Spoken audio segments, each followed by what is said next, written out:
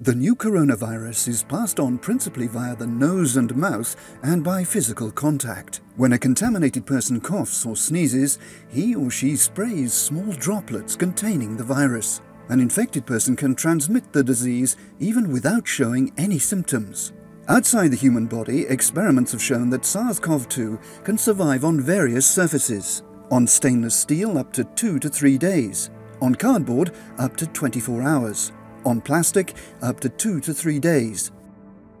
Researchers working in laboratory conditions sprayed the virus into the air, noting that it lingered for three hours in the form of suspended particles. But other researchers say it's not possible to conclude definitively that the virus is transmitted to someone when an infected person coughs, as the experiment did not reproduce the exact conditions of a real life situation.